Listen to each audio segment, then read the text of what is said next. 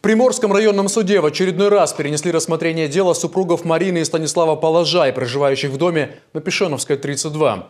В ветхом одноэтажном доме семья инвалидов ютится уже больше 20 лет, ожидая квартирной очереди. Почему их дело уже в третий раз отложили, знает Юлия Федорова.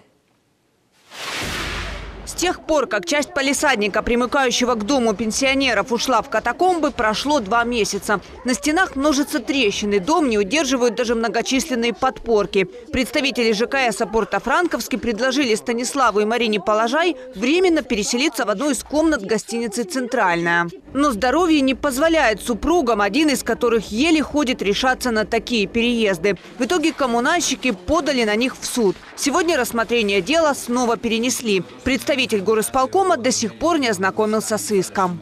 Виконком до вас звертаюся. Виїдь, будь ласка, туди. Отримайте цю відповідь. Ну не потрібно так до людей ставитись. Это уже третье рассмотрение дела. Неделю назад 80-летний Станислав Положай получил первую группу инвалидности. Проблемы с жильем и судами еще больше ослабили его состояние. Сегодня прийти на заседание он не смог.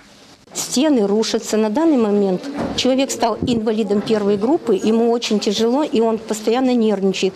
Каждый день у нас что-то происходит. Они стоят в очереди под номером 1997, это как бы очень далеко. И вообще сейчас исполком отписывает э, письма о том, что очередь сейчас остановилась, никому квартиры не выделяют. Э, вот, и поэтому надеяться на квартирную очередь не стоит. Заседание перенесли на 12 мая. Эти две недели чиновники и коммунальщики собираются изучать документы и знакомиться с делом. Снова и снова. А семья инвалидов продолжит жить в доме с провалом в катакомбы.